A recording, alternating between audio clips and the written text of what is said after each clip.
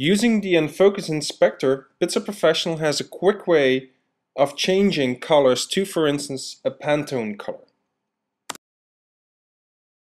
The Inspector panel will show the object's attributes when selecting the object and allow you to change these attributes with a few simple mouse clicks.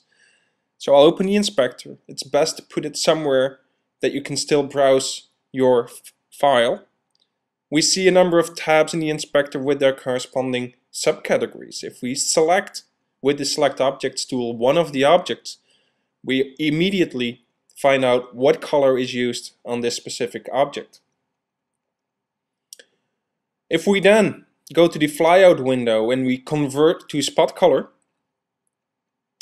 so we select that, we find or we see the spot color picker to search for a new, for instance, Pantone process coated, then you browse through the list and take the one you need.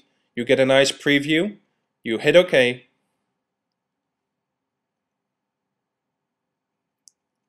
and then we see that this object has a new color called Pantone DS103C. For more information, movies, and a 30-day trial of PitStop Professional, go to enfocus.com.